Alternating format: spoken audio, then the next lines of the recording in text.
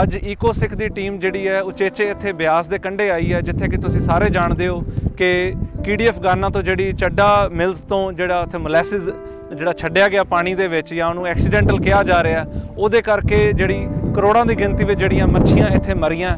ਉਚੇਚੇ ਤੌਰ ਤੇ ਅਸੀਂ ਭਾਈ ਦਇਆ ਸਿੰਘ ਜਿਨ੍ਹਾਂ ਨੇ ਉਹ ਵੀਡੀਓ ਦੇ ਰਿਲੀਜ਼ ਕੀਤੀ ਜਿਹੜੀ ਉਹ ਖਬਰ ਉਹਨਾਂ ਨੂੰ ਅਸੀਂ ਮਿਲੇ ਆ ਇਹ ਵੇਖ ਕੇ ਹੈਰਾਨ ਹੋਇਆ ਵੀ ਇਹ ਕਿਉਂ ਦੂਰੋਂ ਪਾਣੀ ਤੋਂ ਬਾਹਰ ਆ ਰਹੇ ਨੇ। ਹਾਂਜੀ। ਜਾਂ ਮੈਂ ਫਿਰ ਹੋਰ ਆ ਕੇ ਥੋੜਾ ਜਿਹਾ ਵੇਖਿਆ ਬੜਾ ਮਨ ਨੂੰ ਦੁੱਖ ਹੋਇਆ। ਪਾਣੀ ਜਿਹੜਾ ਲਾਲ ਹੀ ਕਾਲਾ ਪਾਣੀ ਹੋਇਆ ਤੇ ਫਿਰ ਮੈਨੂੰ ਮਹਿਸੂਸ ਹੋਇਆ ਵੀ ਇਹ ਕੋਈ ਕੈਮੀਕਲ ਪੈ ਗਿਆ ਵਿੱਚ। ਇਹਦੇ ਜਿਹਦਾ- ਜਿਸ ਕਰਕੇ ਜਿਹੜੇ ਨਿੱਕੇ ਨਿੱਕੇ ਪੂੰਗ ਵੱਡੀਆਂ ਮੱਛੀਆਂ ਪਾਣੀ ਤੋਂ ਬਾਹਰ ਛਾਲਾਂ ਮਾਰ ਰਹੀਆਂ ਫਿਰ ਮੇਰੇ ਮਨ ਨੂੰ ਬੜੀ ਠੇਸ ਪਹੁੰਚੀ। ਫਿਰ ਬੇੜੀ ਲੈ ਕੇ ਅਸੀਂ ਵਿੱਚ ਵੀ ਗਏ। ਪਹਿਲੀ ਵੀਡੀਓ ਇੱਥੋਂ ਪਾਈ।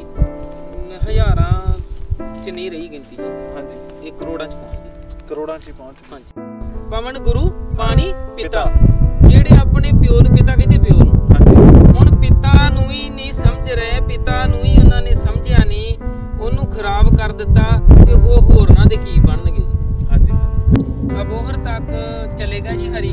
ਜਿਹੀਆਂ ਮੱਛੀਆਂ ਰੁੜ ਕੇ ਉੱਥੇ ਬਹੁਤ ਜ਼ਿਆਦੀਆਂ ਇਕੱਠੀਆਂ ਹੋ ਗਈਆਂ। ਹਾਂਜੀ।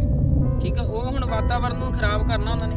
ਹਾਂਜੀ ਬਿਲਕੁਲ। ਹੋਰ ਉਹਨਾਂ ਨੇ ਕੀ ਮੱਛੀ ਨੇ ਕੀ ਕਰਨਾ? ਦੱਸੋ ਇਹਦੇ ਸਮੈਲ ਬਹੁਤ ਜ਼ਿਆਦਾ ਮਾੜੀ ਹੁੰਦੀ ਹੈ। ਕਰ ਕਿ ਸਾਡਾ ਆਉਣ ਵਾਲਾ ਫਿਊਚਰ ਇੰਡੀਆ ਵਿੱਚ ਪੰਜਾਬ ਵਿੱਚ ਕਿੰਨਾ ਕੁ ਸੇਫ ਹੈ? ਪਹਿਲੇ ਸਾਡੇ ਸੁਸਾਇਟੀਜ਼ ਵਿੱਚ ਸਾਡੇ ਲਈ ਸੇਫਟੀ ਨਹੀਂ ਹੁਣ ਸਾਡੇ ਪਾਣੀ ਧਰਤੀ ਹਰ ਜਗ੍ਹਾ ਤੇ ਸਾਡੇ ਲਈ ਕੋਈ ਸੇਫਟੀ ਨਹੀਂ ਹੈ। ਕਿੱਦਾਂ ਦਾ ਫਿਊਚਰ ਆਉਣ ਵਾਲਾ ਹੈ ਅਗਲੇ ਬੱਚਿਆਂ ਦਾ? ਕੀ ਉਹ ਇਸ ਪੰਜਾਬ ਵਿੱਚ ਰਹਿਣਾ ਕਦੀ ਪਸੰਦ ਵੀ ਕਰਨਗੇ? ਇਹ ਉਹੀ ਧਰਤੀ ਹੈ ਸਾਡੇ ਗੁਰੂਆਂ ਦੀ ਜਿਹਨੂੰ ਇੰਨੇ ਮਾਣ ਨਾਲ ਅਸੀਂ ਕਹਿੰਦੇ ਆ ਕਿ ਅਸੀਂ ਪੰਜਾਬ ਵਿੱਚ ਰਹਿੰਦੇ ਆ ਪੰਜਾਬ। ਪੰਜ ਆਪਾਂ ਦੀ ਧਰਤੀ ਦਾ ਜੇ ਹਾਲ ਹੈ। ਨਾ ਜੀ ਜੇ ਪੰਜਾਬ ਵਿੱਚ ਇਦਾਂ ਪਾਪ ਹੋਣਗੇ ਤੇ ਪੰਜਾਬ ਤੇ ਪੁੰਨ ਦਾ ਕਰਕੇ ਜਾਣਿਆ ਜਾਂਦੀ ਧਰਤੀ। ਤੇ ਫੇਰ ਇੱਥੇ ਕੌਣ ਰਹਿਣਾ ਚਾਹੂਗਾ? ਮਾਵਾਂ ਆਪਣੇ ਪੁੱਤਾਂ ਨੂੰ ਇੱਥੋਂ ਸਮੈਕ ਤੋਂ ਚਿੱਟੇ ਤੋਂ ਬਚਾ ਕੇ ਜੰਗਲਾਂ ਰਾਹੀਂ ਜਿਹੜੀਆਂ ਬਾਹਰਲੇ ਦੇਸ਼ਾਂ ਦੇ ਵਿੱਚ ਘੱਲ ਰਹੀਆਂ ਵਾ ਕੀ ਉਹ ਬੱਚੇ ਸੋਚਣਗੇ ਅਸੀਂ ਪੰਜਾਬ ਦੇ ਵਿੱਚ ਆਉਣਾ? ਸਾਡੇ ਨਾ ਪਿੰਡ ਭਲੋਈਲਾ ਤੋਂ। ਸਾਡੇ ਨਾਲ ਹੀ ਲੱਗ ਲੱਗ ਦਰਿਆ ਲੱਗਦਾ ਹੈ ਕੰਡਾ।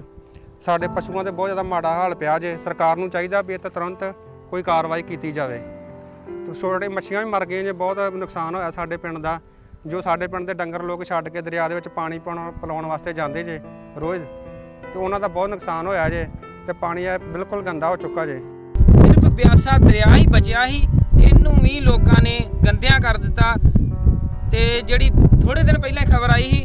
ਉਹ ਵੇਖ ਲਓ ਹੁਣ ਦੂਜੇ ਦਿਨ ਬਾਅਦਾਂ ਖਬਰ ਆ ਗਈ ਵੀ ਆਹ ਕੰਮ ਜਿਹੜਾ ਵਾ ਹੋ ਗਿਆ ਇੰਨੀਆਂ ਮੱਛੀਆਂ ਜਿਹੜੀਆਂ ਮਰ ਗਈਆਂ। ਡਾਲਫਿਨ ਕਿੱਥੋਂ ਰਹੀ ਹੋਊਗੀ? ਸੋ ਬੁਲਾਨ ਡਾਲਫਿਨ ਜਿਹੜੀ ਪੰਜਾਬ ਵਿੱਚ ਸਿਰਫ ਬਿਆਸ ਦੇ ਵਿੱਚ ਪਾਈ ਜਾਂਦੀ ਸੀ ਉਹਦੀ ਪ੍ਰਜਾਤੀ ਮੇਰੇ ਹਿਸਾਬ ਨਾਲ ਅੱਜ ਲੁਪਤ ਹੋ ਚੁੱਕੀ ਹੋਊਗੀ। ਜੇ ਇੱਕ ਦੋ ਮੱਛੀਆਂ ਸਰਵਾਈਵ ਕਰ ਗਈਆਂ ਤੇ ਸਾਨੂੰ ਨਹੀਂ ਪਤਾ ਕਿ ਇਹਨੂੰ ਇਹਨਾਂ ਨੂੰ ਕੌਣ ਬਚਾਊਗਾ।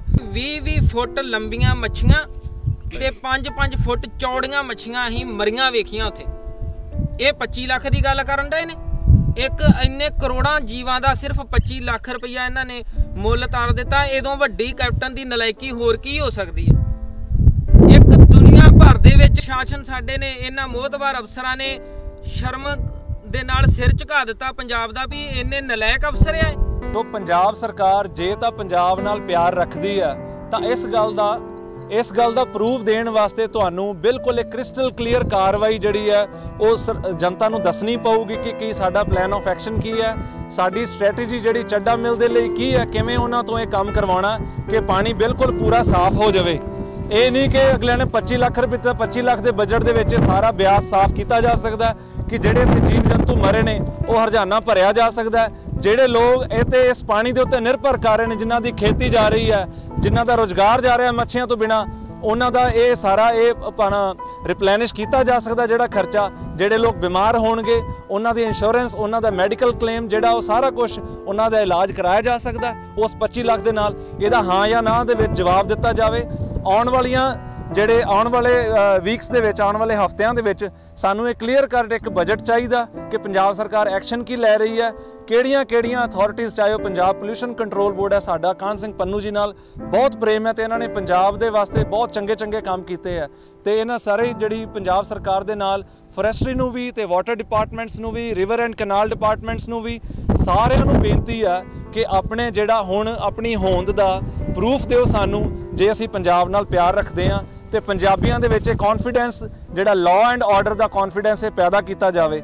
ਇਹੋ ਜਿਹਾ ਮਾਹੌਲ ਜਿਹੜਾ ਪੰਜਾਬ ਦੇ ਵਿੱਚ ਸਿਰਜਿਆ ਜਾ ਰਿਹਾ ਜਿਹਦੇ ਲਈ ਕਿ ਸਾਰੇ ਅਸੀਂ ਜ਼ਿੰਮੇਵਾਰ ਹਾਂ। ਸਮੇਤ ਸਾਡੀ ਜਿਹੜੀ ਪੰਜਾਬ ਕਮਿਊਨਿਟੀ ਹੈ, ਜਿਹੜੀ ਪੰਜਾਬੀਆਂ ਦੀ, ਪੰਜਾਬ ਦੀਆਂ ਸਰਕਾਰਾਂ ਨੇ ਤੇ ਇੱਥੇ ਤੇ ਅਥਾਰਟੀਆਂ ਨੇ, ਅਸੀਂ ਸਾਰੇ ਦੇ ਸਾਰੇ ਰਿਸਪੌਂਸਿਬਲ ਹਾਂ ਐਂਡ ਸਾਨੂੰ ਇਸ ਰਿਸਪੌਂਸਿਬਿਲਟੀ ਨੂੰ ਮੰਨਣਾ ਚਾਹੀਦਾ ਸਵੀਕਾਰ ਕਰਨਾ ਚਾਹੀਦਾ ਤਾਂ ਕਿ ਅੱਗੋਂ ਆਉਣ ਵਾਲੇ ਸਮੇਂ 'ਚ ਪੰਜਾਬ ਦਾ ਇਹ ਜਿਹੜਾ ਹਾਲ ਹੋ ਰਿਹਾ, ਇਹ ਹਸ਼ਰ ਬਣਦਾ ਜਾ ਰਿਹਾ ਪਵਨ ਦਾ ਪਾਣੀ ਦਾ ਤੇ ਧਰਤੀ ਦਾ ਸਾਰਿਆਂ ਦਾ ਸਤਿਆਨਾਸ਼ ਹੋਇਆ ਜਾ ਰਿਹਾ ਤੇ ਸਾਡੇ ਆਉਣ ਵਾਲੇ ਜਿਹੜੀ ਪਨੀਰੀ ਹੈ ਸਾਡੇ ਬੱਚਿਆਂ ਵਾਸਤੇ ਕੀ ਅਸੀਂ ਪੰਜਾਬ ਨੂੰ ਜਿਉਂਦਾ ਰੱਖ ਸਕਦੇ ਹਾਂ ਜਾਂ ਰੱਖਣਾ ਚਾਹੁੰਦੇ ਹਾਂ? ਇਸ ਗੱਲ ਦਾ ਡਿਸੀਜਨ ਅੱਜ ਅਸੀਂ ਲੈ ਸਕਦੇ ਹਾਂ ਕਿ ਨਹੀਂ? ਪ੍ਰਥਮ ਭਗਉਤੀ ਸਿਮਰ ਕੇ ਗੁਰੂ ਨਾਨਕ ਲਈ ਧਿਆਏ, ਫਿਰ ਅੰਗਦ ਗੁਰ ਤੇ ਅਮਰਦਾਸ, ਰਾਮਦਾਸ ਐ ਹੋਏ ਸਹਾਏ। ਸਾਰੀ ਦੁਨੀਆ ਨੇ ਦੇਖਿਆ ਕਿ ਤੜਫ ਤੜਫ ਕੇ ਜੀਵ ਜੰਤੂ ਇੱਥੇ ਮਰੇ ਨੇ। ਇਹਨਾਂ ਸੱਚੇ ਪਾਤਸ਼ਾਹ ਜੀਓ, ਜਿਹੜੇ ਬੋਲ ਨਹੀਂ ਸਕਦੇ, ਇਹਨਾਂ ਗੂੰਗੇ ਜੀਵਾਂ ਦੀ ਸੱਚੇ ਪਾਤਸ਼ਾਹ ਪੁਕਾਰ ਸੁਣੋ। ਜਿਹਦੇ ਪਾਵਨ ਫਰਮਾਨ ਮਾਤਾ ਧਰਤ ਨੂੰ ਬਚਾਉਣ ਦਾ ਮਾਤਾ ਧਰਤ ਦੇ ਸਤਕਾਰ ਰੱਖਣ ਦਾ ਬਲ ਆਪ ਹੀ ਬਖਸ਼ਣਾ ਮਹਾਰਾਜ ਜੀ ਕਿਰਪਾ ਕਰਨੀ। ਭੁੱਲਾਂ ਚੁੱਕਾਂ ਸੱਚੇ ਪਾਤਸ਼ਾਹ ਬਖਸ਼ਣੀਆਂ ਮਹਾਰਾਜ ਸਹੀ ਪਿਆਰੇ ਮਿਲਨੇ ਜਿਨ੍ਹਾਂ ਮਿਲਿਆ ਤੇਰਾ ਨਾਮ ਚਿਤਾਵੇ ਨਾਨਕ ਨਾਮ ਚੜ੍ਹਦੀ ਕਲਾ ਤੇਰੇ ਭਾਣੇ ਸਰਬੱਤ ਦਾ ਭਲਾ। ਵਾਹਿਗੁਰੂ ਜੀ ਕਾ ਖਾਲਸਾ ਵਾਹਿਗੁਰੂ ਜੀ ਕੀ ਫਤਿਹ।